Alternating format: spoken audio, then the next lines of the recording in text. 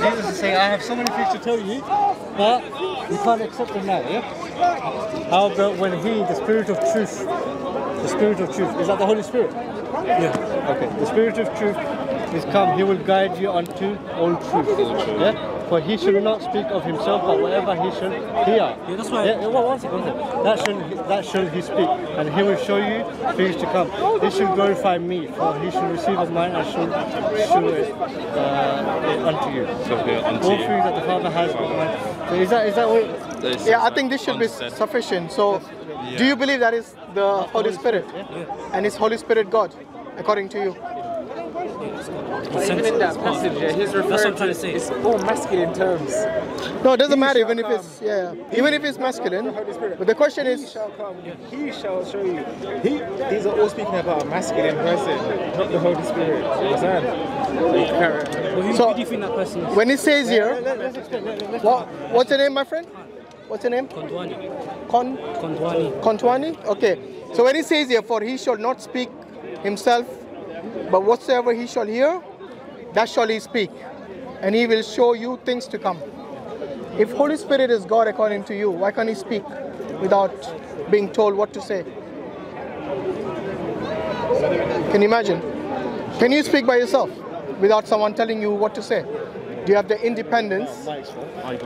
Yes, to speak by yourself. So, if you have the ability to speak by yourself freely, independently, do you think that is something that the Holy Spirit will not have the ability to do? It does, it does, it does, it does. So, That's why. but it says here,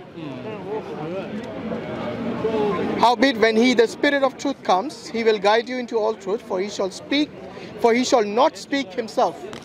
Yeah? But whatever he shall hear, that he will speak. So he's not speaking himself, it's saying here.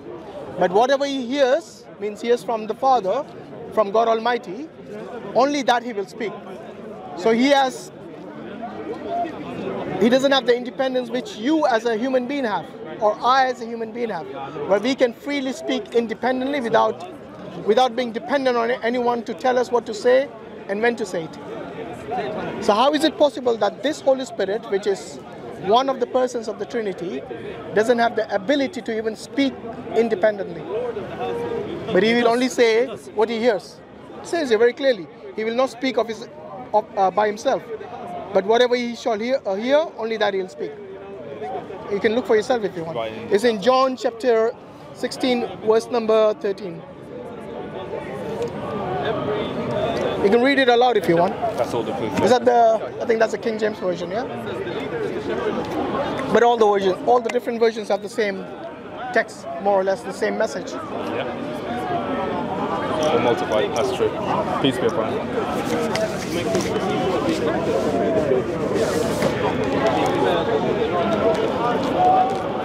That's all the evidence, bud. Why didn't get like a new English translation? That's like a very very old English. Huh? Yeah, that's the only. I was That's, given it that's when I was why. young. Yeah. That's why you see like, you see like when Christians speak. Yeah? Sorry, I can't hear you. You see like when Christians speak. Yeah. What, sorry, when You see who like speaks? Christians like, like the Holy Spirit. Yeah. There's a certain difference to their tone. Like, Sorry, there's difference certain- between whom? Their, their tone. That's why they, they hear things like not not like not like actually hearing the voice, but like they feel that. Okay, let's let's start with a simple question. Can the Holy Spirit speak independently? No, as you said, it comes from the Father. So he has to be told what to say from God the Father. Yeah, that's why it's, the Holy Spirit and God is not different. It's one. It's like Jesus is one. Yeah, I know they're different. I know I know the Father is different from the Son and the Son is different from the Holy Spirit. They're distinct. I've no doubt about that. However, the Christians claim that they are they are one. So they, even though they are distinct, they are one.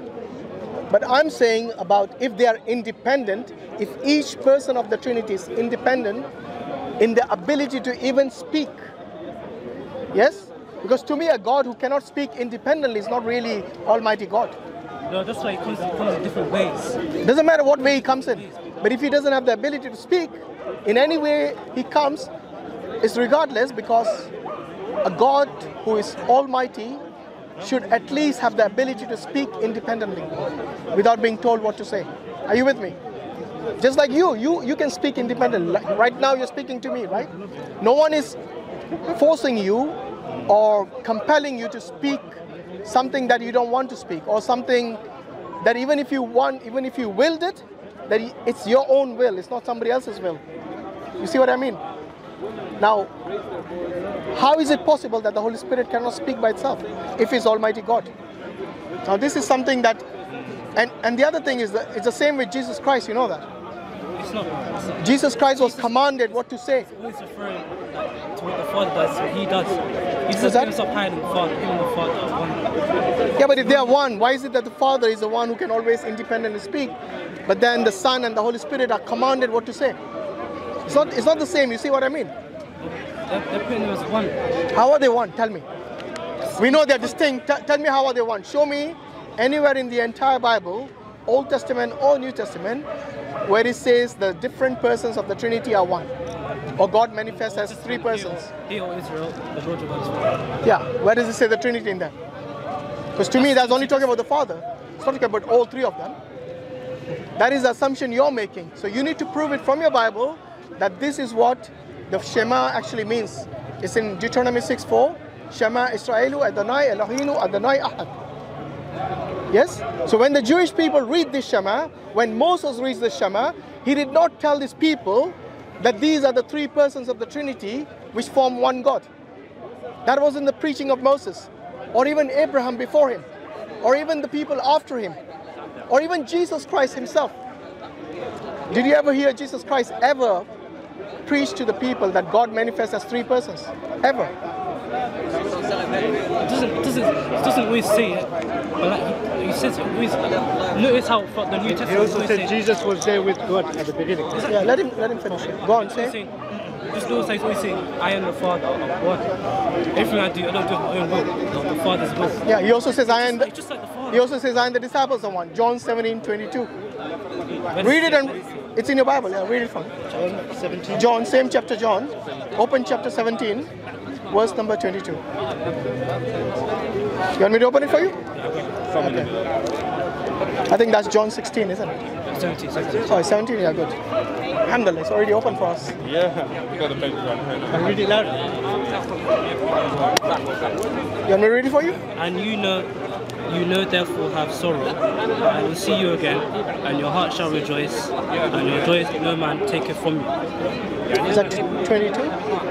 Okay, maybe it's 21 then. Uh, a woman, when she is travail, have sorrow, but her hour is come. But as soon as she is delivered of the child, she remembereth no more the anguish. For hold on, I think you're- is born into the world. Let me just look at it. John 17. Oh, that's John 17. Yeah, it's over here. You're, You're reading in the wrong place here. You're in 16. Oh yeah, I've got the chapter. Sorry. sorry. Yeah. Here it is. 22, I was right. Read aloud. And the glory which you gave me, I have given them, that they may be one, even as we are one. So who is they? The disciples, yeah? So that they may be one, just as we are one. So you remember in he quoted John 10:30, where he says, I and the Father are one. So that is established. Now over here Jesus is saying, I give the glory that you gave me, yes? So that you may be one just like I and the Father are one. So now how many gods have you got? 15? It's not like It's 12 plus 3, right? What does that say? Who's, who's you referring to today? The- they are the disciples, the apostles. He also says, The Holy. Spirit. He's referring to the Holy Spirit who gave the disciples. No, no, no. I'm not asking who gave him the disciples. I'm asking you, the they over there is referring to the apostles. You want to read the one before that if you want? That's fine. Read aloud. So, so we No, know. Lord. Hmm? He, he slept with his two daughters. No, let's, let's not go there, brother. Yeah, no, no. We don't want to mix too many topics. He was saying earlier that Lot isn't a prophet. That's why he did that. Is that what's the Christian belief of that? That's another Godwin event, isn't it? David is not a prophet. Yeah. but- oh, okay. okay. He- he's obviously like lack of knowledge. No, that's fine. That's fine. Okay. We don't want to. Christian belief is normally Lot is a prophet. We expect certain people not to have Exactly. even if they're Christian. So you you know they are one now, yeah. So what the only the only way you can make sense of this is they're one in purpose. Okay, not one in essence. Yes, like it says elsewhere in the Old Testament, when a man marries a woman, they become one flesh. But we know that they are not one flesh literally, are they? Yes? Literally. Yeah, because when they di- become divorced, then what? You have two flesh now again. Yes? But they're always two flesh anyway. So there are certain things which you have to take metaphorically, not literally. So when Jesus says, I and the Father are one, he doesn't mean literally in that sense. Just like Jesus says, I and the disciples are one in John 17 22. Yes? Just like you, you and I are one, they also may be one with us. And this is quite clear. I mean, there are many such passages where you have to realize that Jesus, whenever he's preaching to the people, he has always been subordinate to God Almighty. He was never co equal with God Almighty. So when you say I and the Father are one, that is not a co equality. It is talking about one in purpose. That means they all have the same purpose. Remember, Jesus said, I'm the way, the truth, and the life. Yes? What was his purpose? To show the people the way. What, is the way? The way to whom? to God Almighty. He's the way. Remember, He's not the destination. He's the way to Almighty He's God. the way, yeah. Yes, and He is the truth. That means what He preaches is the truth. So, what was He preaching? Has He ever preached the Trinity? During all the three years or three and a half years, whatever His ministry was, did He ever preach the Trinity? Never. It doesn't, it doesn't like actually say it. Why not? If that was one of your most important doctrines, yes? Remember when Jesus was asked, What is the most important commandment? What did he respond to that? Love to God with all your heart, soul, strength. Exactly. Why did he not say the Trinity? You see what I mean? So Jesus never explicitly preached the Trinity. In fact, he explicitly states that the only true God is the Father. If the only true God is the Father, then it excludes everyone else. You see what I mean? If I said you're the only one who has a backpack here, okay, that means no one else has a backpack here. If I said that, if I made that statement. However, the testimony of Jesus Christ outweighs everyone else. So it doesn't matter what John 1 1 says or what uh, the I am uh, verses that you have in John again says, the very statement that Jesus makes in again John 17, Alhamdulillah, we still have that open. Okay, look at John 17 3. And you tell me what Jesus means by that. Yeah, if you don't mind, just read it aloud so we can all hear. And this is life eternal, that they might know you, the only true God, and Jesus Christ, who you have sent. Yeah. So you know who the they is? There? Sorry, that they might know you. You know who's a you there? Read, read the first verse. You'll, John 17, 1. It tells you that. Which one, which one? John 17, 1. First verse number one. That's John 17. Yeah. Yeah. Read the first, the first verse over there. So he's praying. These words spoke Jesus. Yeah. Read aloud. These words spoke Jesus, and lifted up his eyes to heaven, and said, Father, the hour is come. Glorify your Son, and your Son also may glorify you. Mm-hmm. As you have given him power over the flesh, all flesh, that he should give eternal life to as many as you have given him. Yeah. So he's speaking to the Father, right? He's praying to the Father. Now, in, in, in the verse that you just read, the one after that, verse 3, that this is eternal life, that they may know you. The you there is the Father.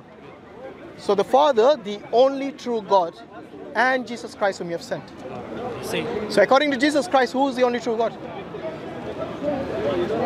Yo, no, him and the Father are one, bro. No, we already discussed that, He my friend. says, we have "I'm moved on only- now. I'm the only way to the Father. That's Yeah, he he's not a destination. You're right. I agreed with you. He's the way. Every prophet is the way to God Almighty, and Jesus is no exception. But Jesus is not a prophet. Jesus- Well, he did say he's a prophet. He acknowledged that he's a prophet. How? The people acknowledge that he's a prophet, Jesus is different. and he's a Messiah. He's a chosen one of God. Okay, we as Muslims we accept that. Do you know that? We are not Jews. We accept him and acknowledge that Jesus Christ is the Messiah. Yes. But in, in that verse which you just read, this is eternal life that they may know you, the Father, the only true God, and Jesus Christ whom you have sent. He makes a clear distinction between the only true God and the Christ and himself. You see what I mean? So when Jesus himself If testifies, If he's different, why, why do we need Jesus to get to the Father? because like I said, every prophet, you know, God God said that anyone who sees him will die. So God cannot just come here and tell people I'm God.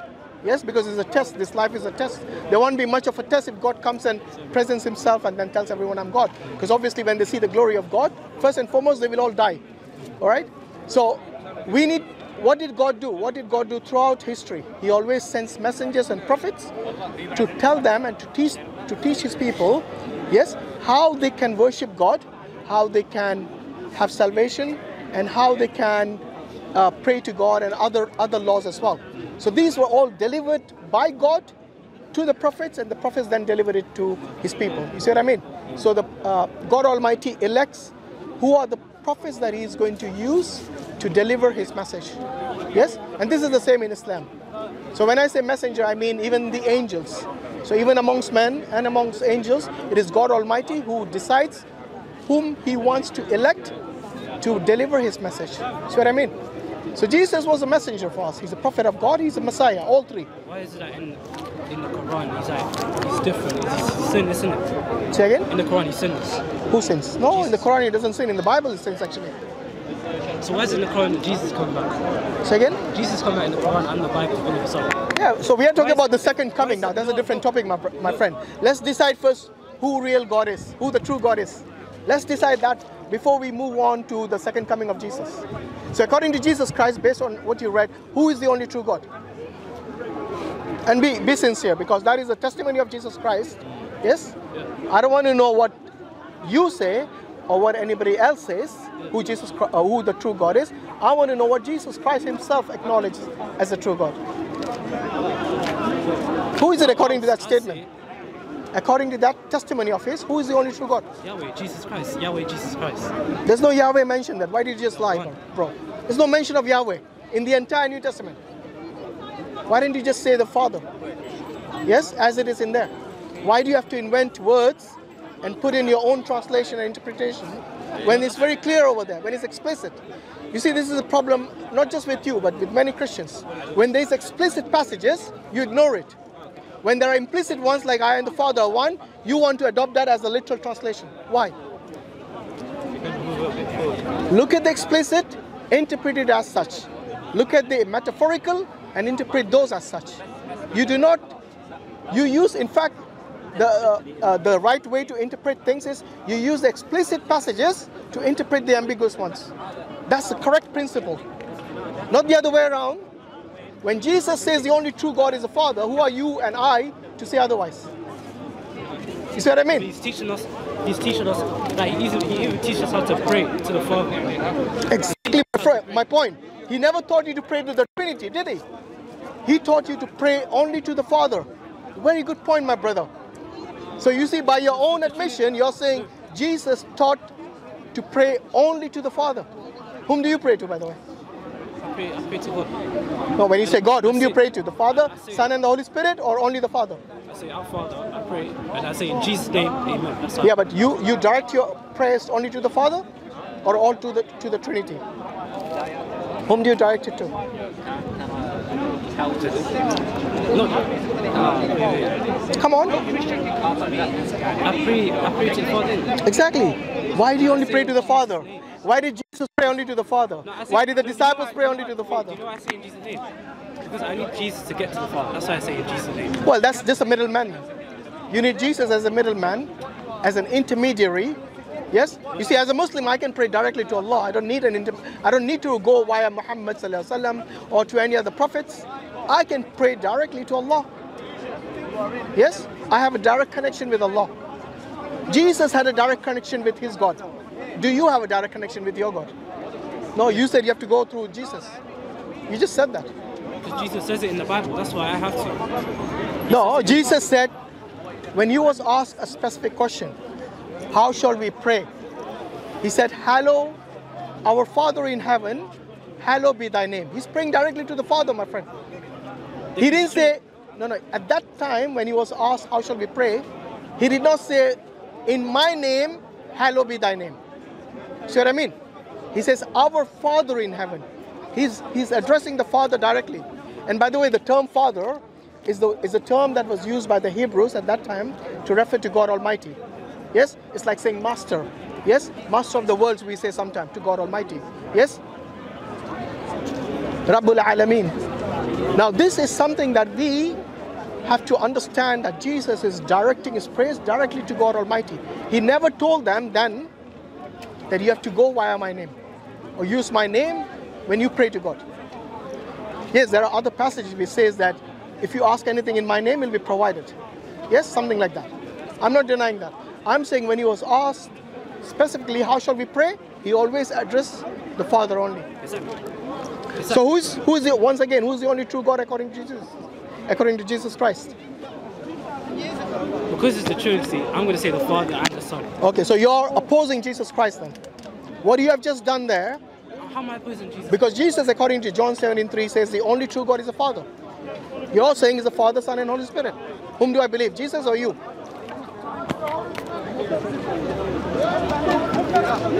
Whom do you believe? Do you believe Jesus or your church? I believe Jesus, what he says. No, but you're opposing Jesus.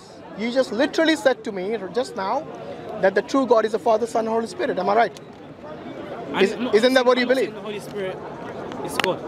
I'm not saying that. Whether you say the Holy Spirit is God or not, the point is whom did Jesus um, testify as the only true God? Not you, not me, not the church. Who did Jesus recognize as the only true God? Now you see there's an explicit passage I showed you, but you're denying that now. Why is that? Why do you deny explicit passages, my friend? he says, He says what? I can only get to the Father through Jesus Christ. Yeah, again, he's a middleman.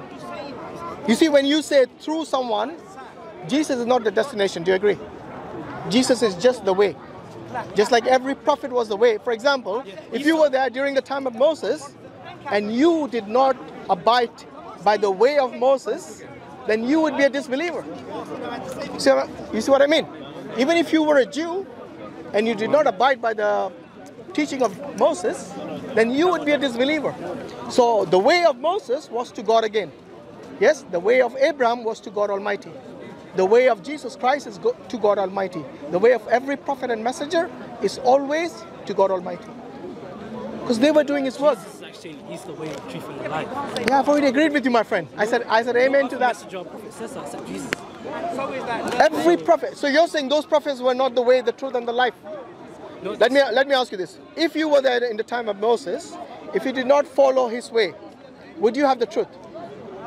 And if you did not abide by the truth and the way of Moses' teaching, would you have eternal life? You wouldn't. You see what I mean? By that principle, every prophet and messenger who are who are appointed by God Almighty are the way, the truth, and the life. That's what it means, my friend. It doesn't mean Jesus is God where Jesus is clearly telling you that the only true God is the Father, you keep insisting what the church taught you. And I know it's not easy. I know it's not something that you can right now, like within a few minutes or an hour or something, change your, your perspective and, and make a U-turn because this is what you have been indoctrinated since you were young. Yeah? You've been, since I was young, you've been a Christian all your life? Yeah.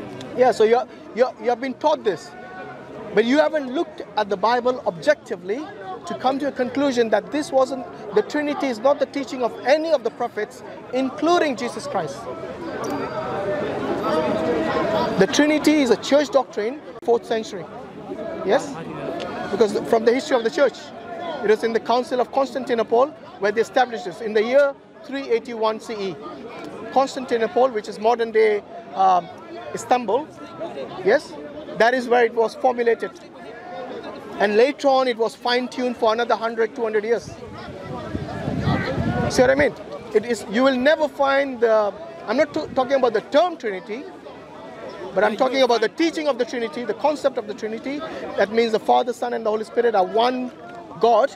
You'll not find that in the Bible, my friend. Either in the Old Testament or the New. God doesn't, it speak like literal. It doesn't speak literal. What's literal? It doesn't, it doesn't literally say the Holy Spirit is God. It doesn't say that. So why would you believe something that is not explicit? Why would you believe when there is an explicit passage? Why you're believing something that is not even in the Bible or not even explicit? Should it not be the other way around? When something is clear, you accept it. When something is ambiguous, you use the explicit to interpret the ambiguous. That is the correct principle, my friend. So imagine this if somebody tells you clearly that it is day now, and you say, no, the clouds are covering the sun, you see, so it might be evening, it might be night. Yes? But when you can clearly see the sun, even if it's behind the clouds or something, you know it is day, then you, you do not argue with anyone that it is now not day. When something is clear and explicit, you accept it, you acknowledge it. See what I mean? Now, with regards to Jesus Christ, you know, when he says many things, as a human being, for example, Jesus, do you believe God can die? God can't die. Okay. Can God be? Jesus rose again. Can God doesn't resurrect either? Because resurrection is only for those who die, not for those who never die. Jesus especially, he sits on the right hand of the Father. And even now he's coming back. Sorry, on the right right hand of who? The Father. Good. So how many gods are there? One is in the throne, one is on his right hand. How many gods are there? There's not two gods there. So how many, no, you, you told me on the right hand side of the Father. If- if I know that the Father is already God based on what Jesus testified. Now you're saying on his right hand side. So even if he sits on his right, uh, how does that make him God? You know the 12, the 12 disciples, the 12 apostles will be sitting on the 12 thrones and they will be judging the tribes of Israel. Yes? This is in First John, I believe, in the Epistle of John. Does that make them God just because they're sitting on thrones? No, this, this obviously. and they will be judging. They will be actually judging the 12 tribes of Israel. Does anyone judge on the day of judgment other than God Almighty? Yeah, but what were the 12 tri- what were the 12 disciples? They'll be judging the 12 tribes of Israel. So if Jesus is judging, the 12 tri- uh, the 12 disciples are judging. Jesus is on the throne, the 12 uh, disciples on the throne. Does that make the 12 disciples and by the way, I showed you the passage where they are one as well. One with the Father, just like Jesus and the Father are one. They are all one with him. So now you have 15 in one from 3 in 1. It's not saying that. I know, it doesn't say 3 in 1 either, my friend. It doesn't say 3 in 1 either. The question still remains if Jesus is not God, yes, and he never claims, by the way, he never explicitly stated that he's God. And the Father stated that he was God, and Jesus testified that the Father is God. So we have double confirmation. One is confirmation from the Father himself, and the second confirmation is from Jesus himself. Yes? Remember, Jesus also says in John 5 that if I testify about myself, my testimony is not true. Imagine this. Can you imagine God testifying something, and God is telling you his testimony is not true? But someone else testifies about me, the one who sent me, and his testimony is true. And who is that someone else? God Almighty. See what I mean? I can show you many explicit passages in the Bible which disqualifies Jesus as God Almighty. And Jesus will agree with me more than with the Trinitarian. But he, he came he came to earth Yeah. sinless. Like he kept the law we couldn't keep. But sinless doesn't mean you're He was a, a virgin. you know John John the Baptist? What was his sin? Your Bible says from from the women who was born, he was the best example, the best person, John. What was his sin? Bro, I'm trying to say. At least I can show you certain sins that Jesus committed in the Bible. Do you know that? What sins, what sins Jesus? Okay, do you believe racism is a sin? Is a sin? Is it a sin? Man made, yes. Yeah. Do you, do you think insulting someone is a sin? Do you think offending someone is a sin? If it's if it's just, Yeah. It's a sin. Well, you can't you can't justify certain offenses. Because Jesus, Certain Jesus insults. flipped over the tables because like, people were in the church. They were, they were, they were No, no, I'm not talking about the the, the money exchanges, where he actually uses a whip to whip them, yes, and to drive them out of the out, out of the synagogue.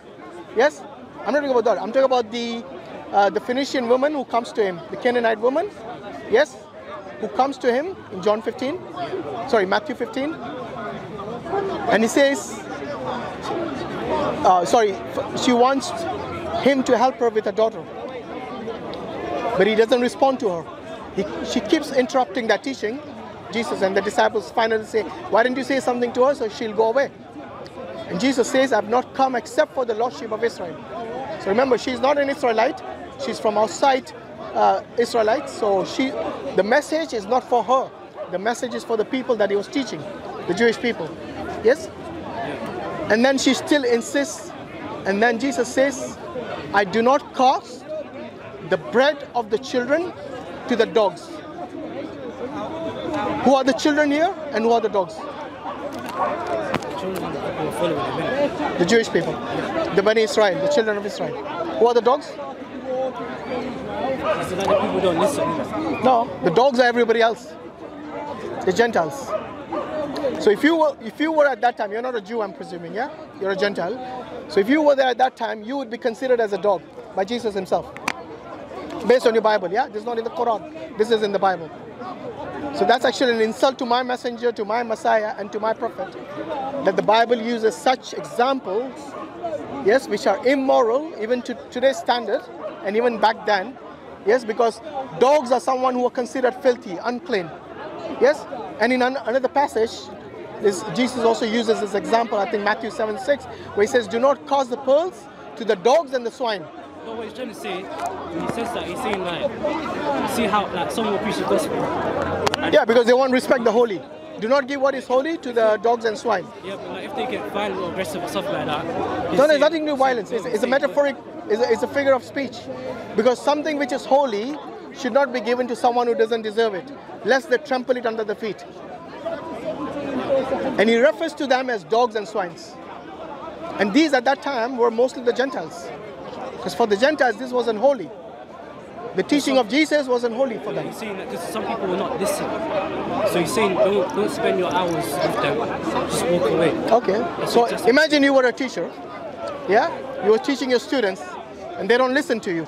Would you call them dogs and swine? No, this is different. This is like Exactly, this is different. Jesus should be above those people who would consider the Gentiles as dogs and swine. You see? By by believe sorry, by behaving the same as the Jews of that time, the Jews who would despise the Gentiles and call them such terms, derogatory terms like dogs and swines, he is now lowering himself to their level of morality. Whereas he should be above as a teacher. Yes, he's a rabbi, he's a teacher bringing good news. To me, this looks like the same old news. he called people vampire. Like, what would he say? Yeah, he called the Pharisees um, uh, vipers and snakes and so on. Yeah. I think those people deserved it.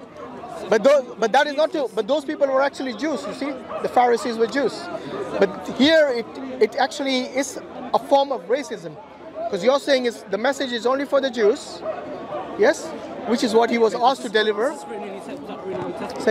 Second, yeah, Matthew 15. Open it and read. It's not for, not just for the Jews. It's for like the whole world. What's that? He's speaking to the whole world. No, he says, I've not come except for the lost sheep of Israel. Are you the lost sheep of Israel? Is that is that Canaanite woman a lost sheep of Israel? No, she the reason he said to her this is to to make it clear that my message is not for you, but it's for the Bani Israel, for the children of Israel, the Jewish people, the Jewish tribes. See what I mean? Now, earlier you agreed with me that calling someone a derogatory name or, or, or racism is a sin. Over there, if you were objective, if you were looking objectively, you will acknowledge that was a sin on the part of Jesus Christ by calling a woman a dog. That to a woman who's literally begging him on her knees, begging him to help her child who is either possessed or not well or something. So she's not asking for something, she believes in him actually. She believes that he does miracles, that he can cure her, which he did actually, eventually.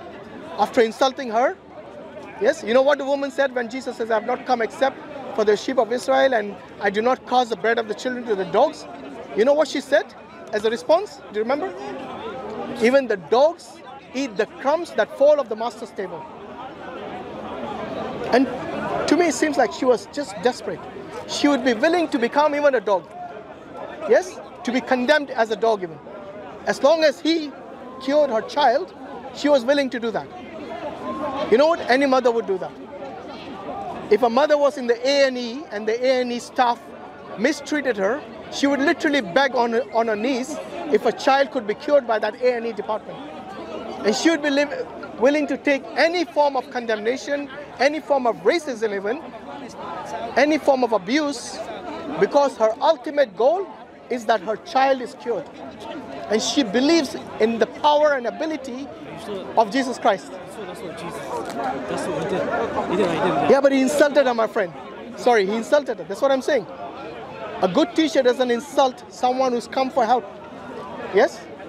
With such racist, derogatory terms.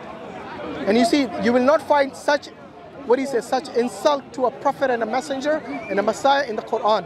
But it is in the Bible, unfortunately. Uh, what does the Quran call Jesus? Jesus, the Quran calls Jesus blessed. His mother is blessed. In fact, there's an entire chapter in the Quran called Surah Al-Maryam. This chapter, Mary, has been given this title, Mary, which is the mother of Jesus Christ. Yes?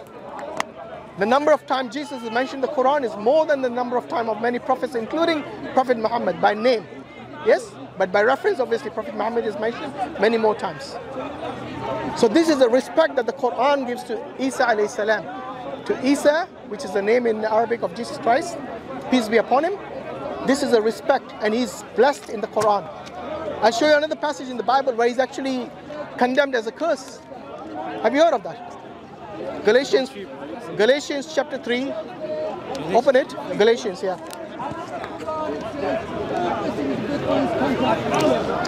Galatians 3:13.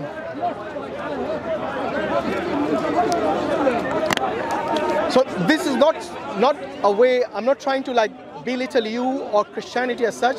I'm saying if this book was truly from God, then it would not insult a prophet as a sinner, as a racist, and, and as a curse as well. Galatians 3, so it should be at the back.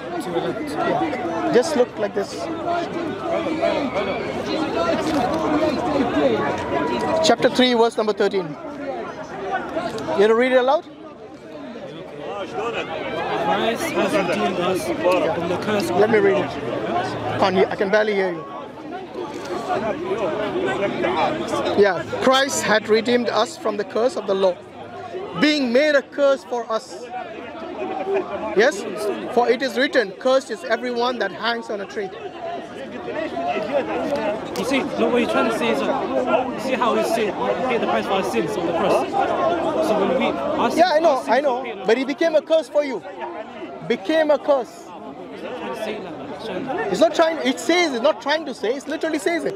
Shall I read it again? Jesus speaks Christ has redeemed us from the curse of the law, being made a curse for us. And then it goes on to say, For it is written, that means in the Old Testament, it is written that cursed is everyone who hangs on a tree. So Paul here, who's written this uh, this particular letter to the Galatians, he's interpreting the Old Testament, where he says that anyone who hangs on a tree is cursed, hangs on a pole is cursed, hangs on a cross here in this in this scenario is cursed. So Jesus became a curse by taking the sins upon himself. Can you imagine someone who is blessed in the Quran, according to the Bible, is cursed? Isn't that an insult to the person that you consider as God? Well, you can read it again and again. It won't change the fact that it becomes a curse.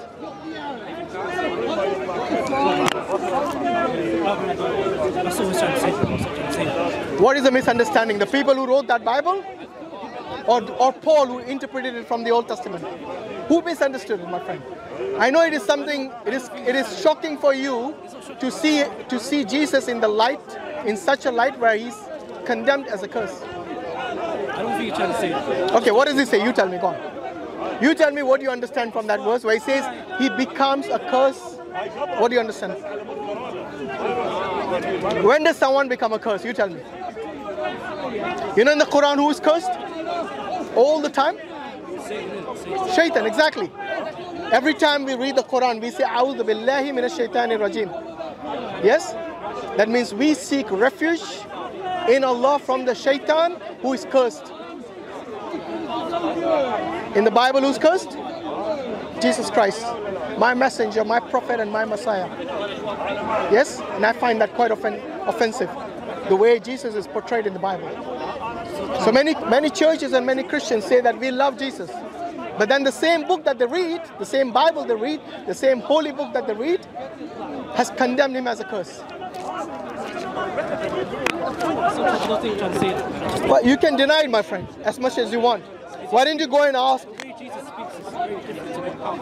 So what, what does Galatians say then? He becomes a curse. So he, he redeemed you from the curse by becoming the curse. Do you understand what that means? That means he was the one on the cross. He was insulted. He was spat upon. He was literally stripped naked, humiliated, and then eventually killed. If he was God by his own creation, in his own creation, killing him. God came as a man, in the form of Jesus. God came as a man. in the form of Jesus Christ. Okay. That's why he he had he, he suffered the temptations we suffered, but he was sinless. Can God become a man?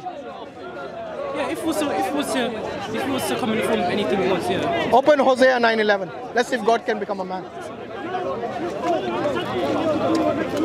And also Numbers 23:19.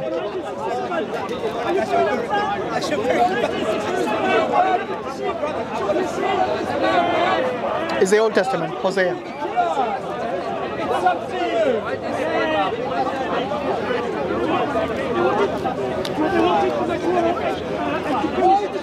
Hosea 11, verse number 9.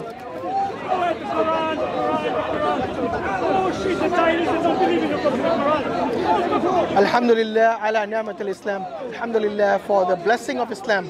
We don't have these issues. Which chapter? Which chapter? Uh, 11, verse number 9. Say 11, 9, right? It's not come the way. One You're from the sun. No, where it says the uh, God is not uh, God is not a man. Yeah, Num- numbers That's chapter. why Hebrews again. Num- numbers chapter 11, 9. 23. Yeah, we got that as well. Numbers 23, 19. Oh, Hosea 11. Yeah, you're Yeah. right. Yeah. That's more clear, I think. can't Hosea remember 11, 9. verse. It's 11, 9, yeah. You want to read aloud, brother? I will not execute the fierceness of my anger. I will not return to destroy Eph- Ephraim, for I am God and not man, the Holy One in the midst of you, and I will not enter into the city. So I'm God, not a man. Yeah, yeah. Yeah, now open Numbers 23, 19. So that is one place where he says that he is God and he's not man.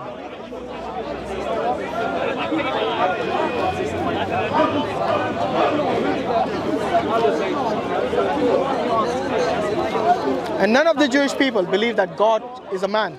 You see, the Old Testament, all the prophets, uh, 23, Numbers 23, 19. Is it 19? yeah? But the fact is, we've differences, we can't follow from directly, so we have to filter the differences. But, I'm saying we have to filter the differences of Ahl al-Bayt and Sahaba, then reach the Prophet directly God.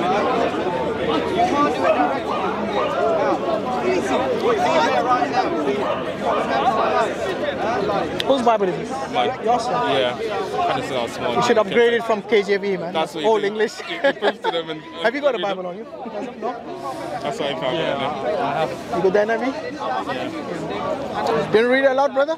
God is not a man that he should lie, neither the Son of Man that he should repent. Okay. Having said, and shall he not do it? As he spoken. So God is not a man that he shall lie. He's not the son of man that he shall repent. Yeah, so he's referring to referring to Jesus. He's saying God is. Jesus is called the Son of Man. Are you, So saying but he's saying God is not a son of man.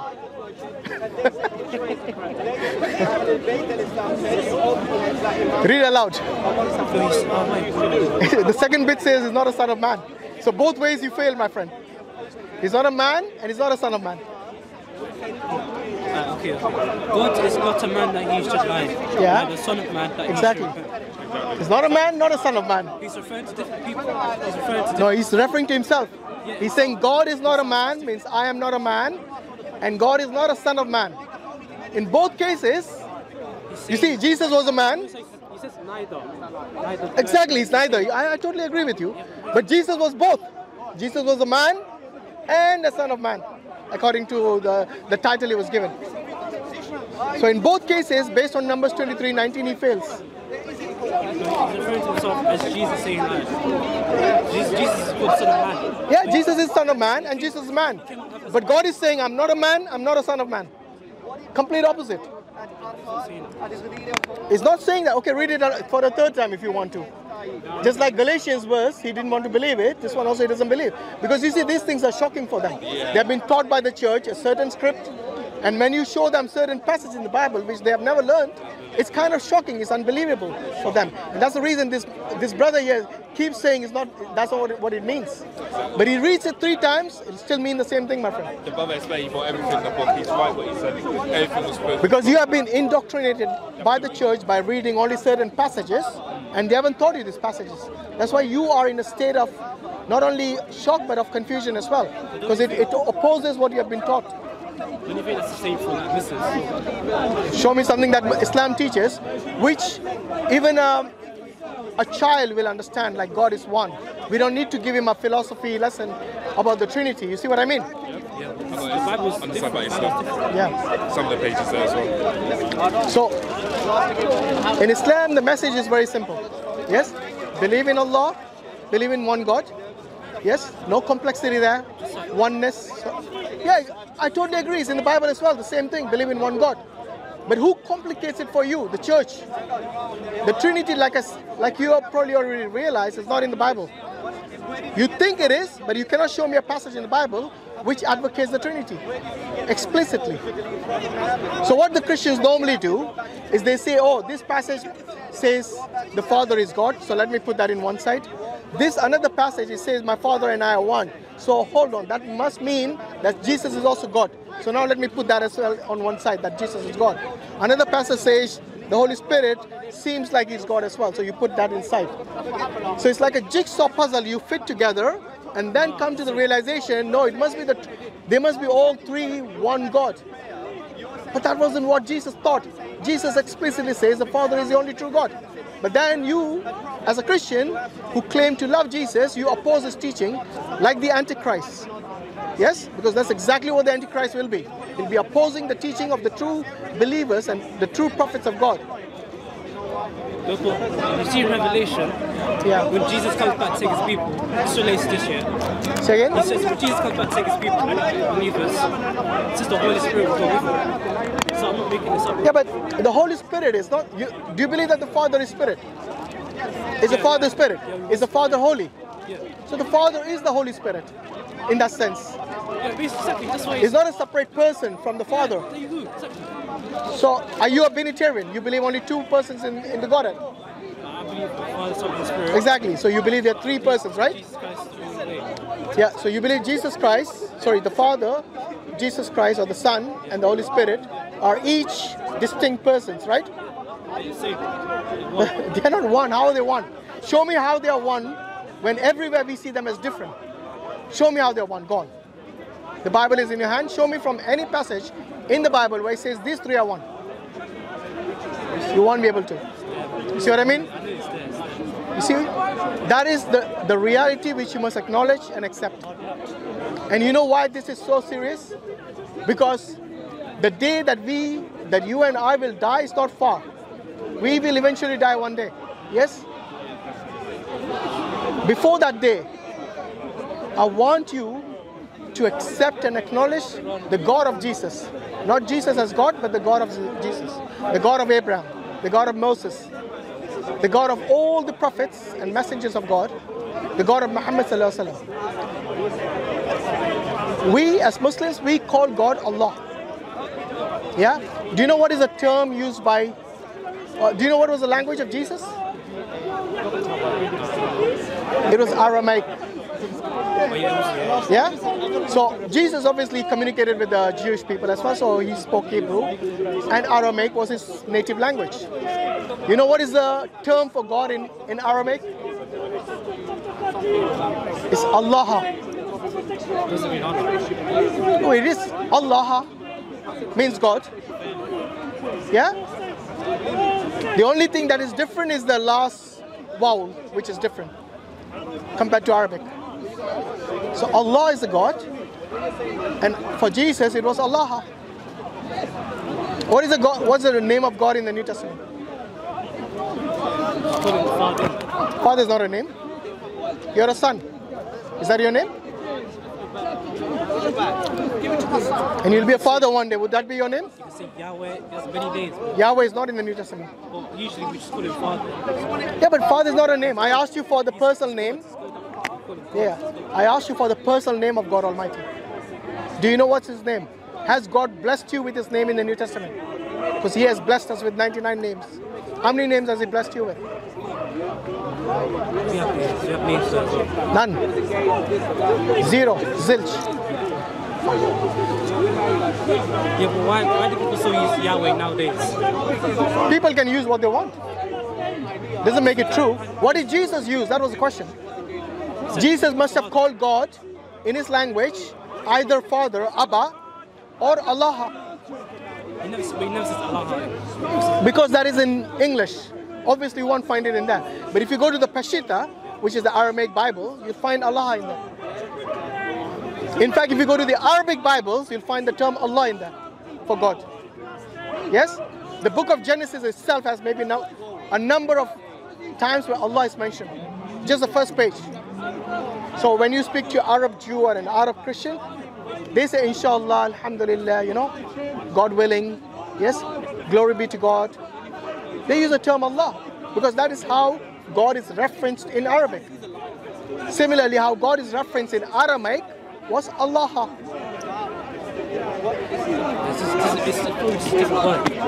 Say It again. doesn't mean, it doesn't mean Allah. You know the term Why doesn't it just say Allah? You know the term God wasn't use during the time of Jesus because English came much later on.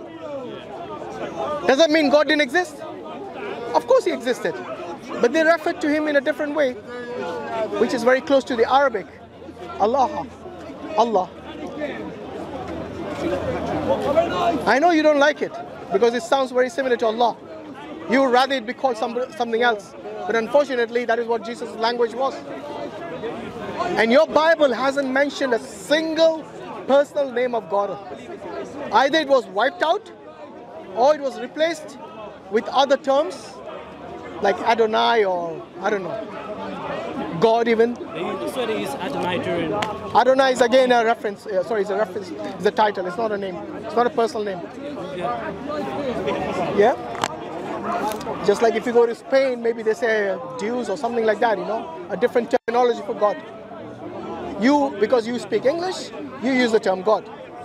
The French use Father. Sorry? Because. That's why he says.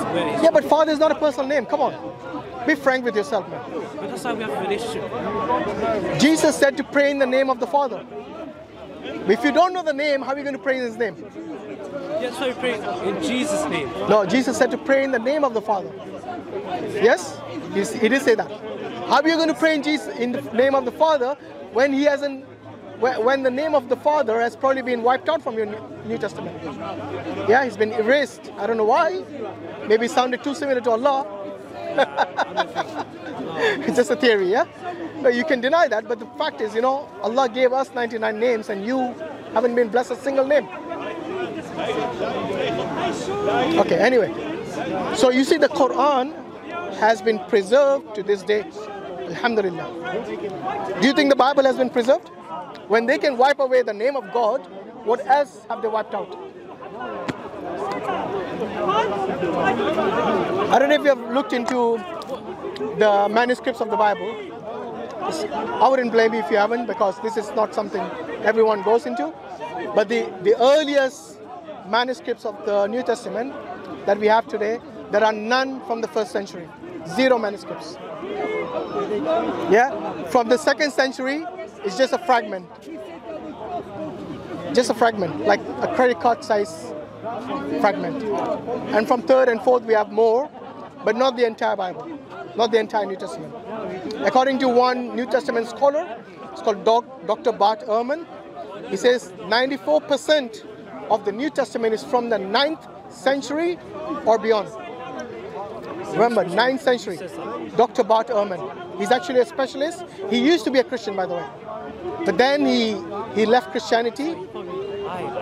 No, he's, he's actually a scholar. He doesn't lie. He, he, he bases his uh, study on, on history. So what he does is he looks at the historic evidence of the manuscripts available, and he, and by dating them, he's able to ascertain what part of the Bible is from which century. But one thing is confirmed by all scholars, including Christian scholars, that from the first century you have nothing, zero manuscripts. So you don't have the oral tradition of memorization, you don't have the manuscripts, you don't have the chain of uh, uh, uh, transmission.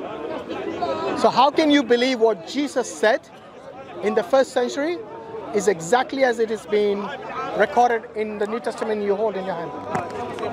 If you don't have manuscripts, how will you We do. from the first century?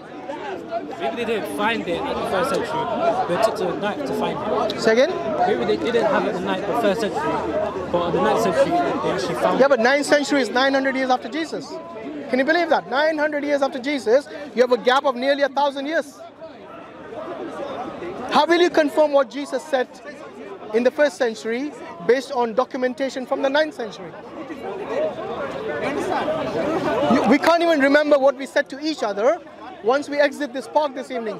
Yes? Or maybe tomorrow, or day after tomorrow. Maybe the recording might help. But you and I will forget. You see much of what we what we talked about here. We are talking about nearly a thousand years of gap.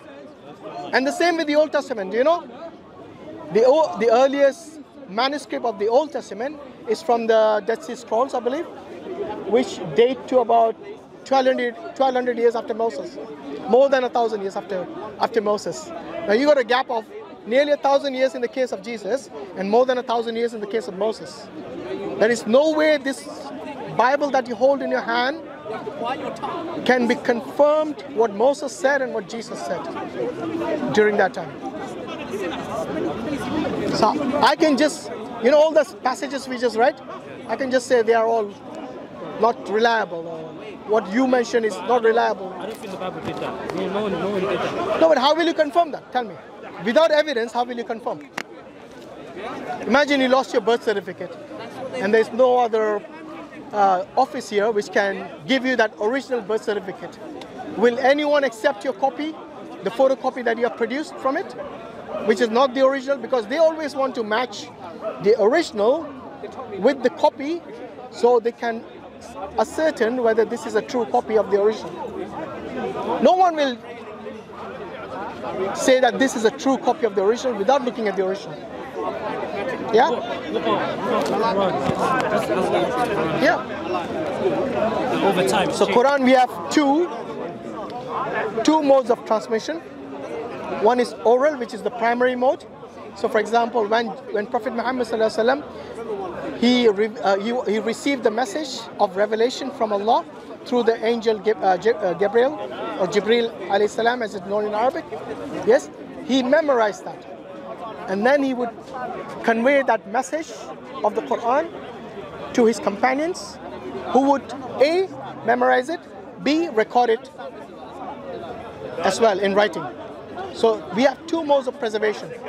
And not only this was recorded, which we actually have copies of today from the first century al Hijrah, yes, from the first century of the Prophet Muhammad, sallallahu yes, but we also have this tradition, which is the primary mode of preservation, the oral tradition of memorization of the Quran. Yes? So it's, it's not like Chinese whispers because many people think that, oh, it is like Chinese whispers. So if I tell you something and then you pass it on to someone else and you pass it on third, maybe 10 people down the line, that message has now been changed. That's called Chinese whispers, yeah? Where, you, where it's orally transmitted, but during the transmission, the message changes. The reason for that is something that doesn't apply to the Quran is because we don't have just one chain of transmission, like in the example I gave you, but we have multiple chains of attested transmission, and they all agree with each other. Doesn't matter the geographic distance between the two chains. So if I go from here to say South America today, yes, and I ask a person to recite Surah Al-Fatiha, the opening chapter of the Quran, yes, he will recite it exactly as someone who would recite it in England. So that is the mode of preservation orally, and I've already shown you the mode of preservation through manuscript. So in Bir- Birmingham uh, University, we have something called the Birmingham manuscript of the Quran, which is like um, carbon dated from the period of the time of the Prophet ﷺ. Yes, there's a range of like of 50 years or something. So within the very close proximity, we have actual evidence of hard evidence of the manuscripts of the Quran. And that manuscript, when you read it, it is exactly as the Quran that I would be holding in my hand today. That is the level of, uh, what do you say, uh, of securing the preservation of the Quran. And you know what is the most important level of preservation, uh, securing the preservation of the Quran? Yes, it's where Allah Himself says in the Quran that He will preserve it. So if you open chapter 15, verse number 9, it says, Ali- um, is that the one where it says, is it 15, 9? Yeah? Where it says, اليوم um, uh, نحن نزلنا الذكر ون- و- و- ونحن له لحافظون.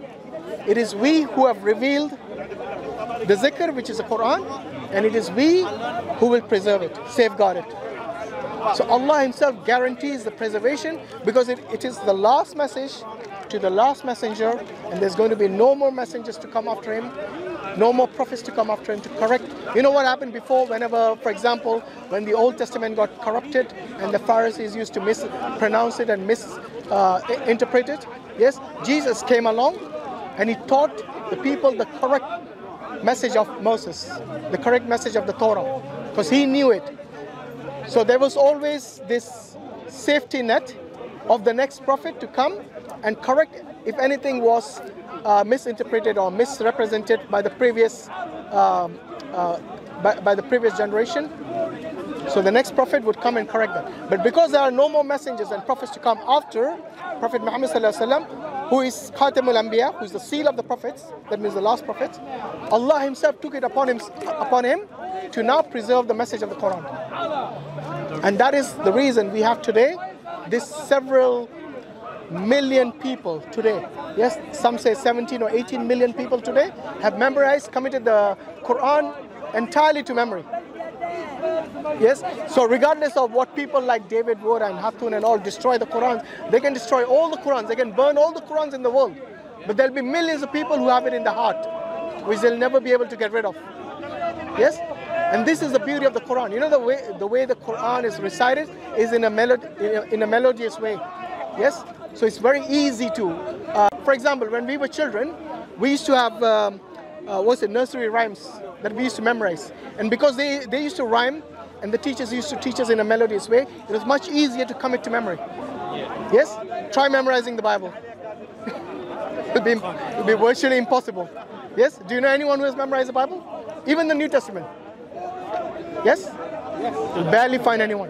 You know, today we have children as young as six years old. Six years old, literally, who have memorized the Quran from cover to cover. Yes? And oh, how is that different? Well, exactly. You, that's what you have to prove. Actually. Sorry to interrupt. Yeah. If you got proof, let us know, inshallah. Okay. So Uth- Uth- Uthman was Uthman was how many years after Muhammad? Do you know that? Um,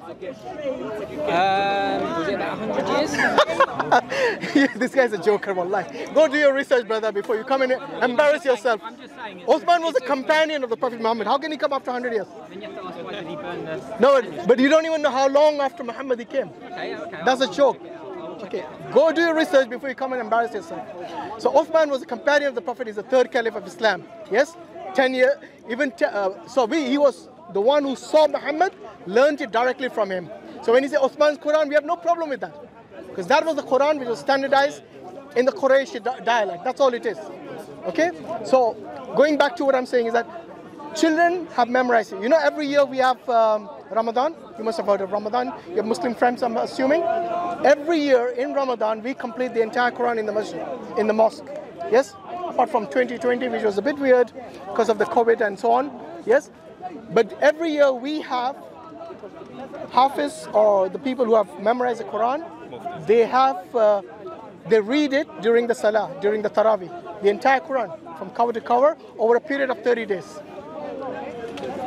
And you know, when the Imam makes a mistake in, the, in reciting the Quran, there'll be so many people who'll be able to correct him at the back, including children. Yes? There's actually many videos on, on online where, where the father is uh, deliberately making mistakes when he's reciting the Quran, and, he, and his daughter, she's actually four years old, she's correcting him when he's reciting the Quran. It's a beautiful video, mashallah. I don't know the name, but I'm sure you'll find it on YouTube or somewhere. So this is how we encourage our children to safeguard the message of the Quran. Even though Allah Himself, we have no doubt, will, will safeguard His book because He has promised it in the Quran. Such a promise you will not find in the Bible. Nowhere in the Bible it says that this message is something that God will preserve or he takes it upon himself to guarantee its preservation. Not in the New Testament, not in the Old Testament. Why is that? Why is that? Because God did not intend its preservation. Yeah? Because God was always renewing the message, even though the core message remains the same, which is believe in God. All the prophets taught that. Believe in the day of judgment, all the prophets taught that. Yes? Believe in his books, the previous books, all the prophets taught. Believe in the angels, again, all the prophets taught that. This is the core message of Islam. When we say Iman, the six articles of faith, is آمن بالله وملائكته وكتبه ورسله واليوم الآخر. Yes? والقدر والقدر. So, آمن بالله means believe in Allah, believe in God. وملائكته in his angels. وكتبه in his books, which means the revelations. Yes? ورسله in his messengers and prophets. Yes? واليوم الآخر, which means the day of judgment. والقدر والقدر in, in the predestination. All the prophets, they taught this. This is the core message of Islam. If you do not believe in the six articles of faith, you are not a Muslim. Yes? And the five pillars of Islam. Again, believe in Allah, pray five times a day, uh, give the zakat, fast in the month of Ramadan, and go for Hajj. Now, this is specific to Islam only? No. The previous prophets also prayed. You know how Jesus prayed? Do you remember in the Garden of Gethsemane? It's like that man over there. Yes? Look, he's going to put his forehead on the ground now. That is called prostration. He looked up in the sky. In the Quran, the guy's called look up. Yeah, but he also prostrated by falling on the floor with his face on the ground. Remember in the Garden of Gethsemane? Just like this man is praying in the Garden of Hyde Park, he prayed in the Garden of Gethsemane. What was he begging God to do? To take the cup away from him? Yes? Let it be your will, not my will. Yes? How did he pray, my friend? He prayed the way he said, like how that guy's doing it. Yeah, which is what? Which is what? To put his forehead on his floor. Do you pray like that? Sometimes I'll do that. I'll No, no, why sometimes? Because you don't have to do Because he's praying to his father. You don't understand that. He's praying to his father. Yeah, like Are you going to interrupt? Yes. I don't want you to. Go away. Okay. Praying to his father. Okay. The thing. You You missed missed most of what you said. the thing Here we is. He's got a it's- it's relationship to yeah, it's a father. relationship. Here we It's a go. Yeah. So, do you pray to the Father like that? You put your fo- you put your face on the floor and you pray to the Father. You can pray to God any way you want. It's Exactly. a relationship. No, but would you Doesn't would you not pray? doesn't want you to do every little He's thing, your like, father. just- Okay. Do you think it is important how Jesus prayed? Yes. Do you, do you think you know, brother, brother? Your ignore him, ignore him. He's a he's a troll. Ignore him. Okay. So what? tell About, you different things by the way, I'm going to stick with you talking. If interrupts, we, we stop this. Yeah. Because we don't like interruption. Okay. So what I'm saying is that No, if He's telling the truth. if Jesus prayed, Surah 532. please ignore. He's going to explain Okay, it one of these Je- Jesus Christ puts his face on the floor and he prays. It's a lie. Yes? If you do it sometime, that's fine. But at least Jesus prayed that way. And we pray that way as well. Did, do you know Abraham prayed that way? Do you know Moses prayed that way? Yes? All the prophets prayed like that. Why? Why is that? Because the salah which Allah gave to the Prophet Muhammad sallallahu alaihi wasallam, it wasn't something new to him. It was also how it was prayed before. So, so if you if you pray looking up, what's? What's gonna happen? By the way, you know, in English, the term prayer can mean several different things. It's a ritual prayer plus you uh, supplicating. Supplication to God. We can supplicate anyway. Yes? So we call, in Arabic, we call that dua, which is supplication, which you can pray any way you want, in any, in any position you want. Yes? Even in your own language, doesn't matter. This is called supplication.